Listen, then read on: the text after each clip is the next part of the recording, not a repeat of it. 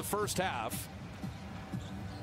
Warriors doing a good job on the glass. Draymond getting stubborn. Draymond putting it in. Go drawing the foul. Go through his chest. As soon as he saw Duncan Robinson was on him, had a weird closeout. Okay, him and Bam Adebayo are having some words here. I, I don't know if Bam Adebayo didn't like him flexing or he didn't like him caving his teammate's chest in.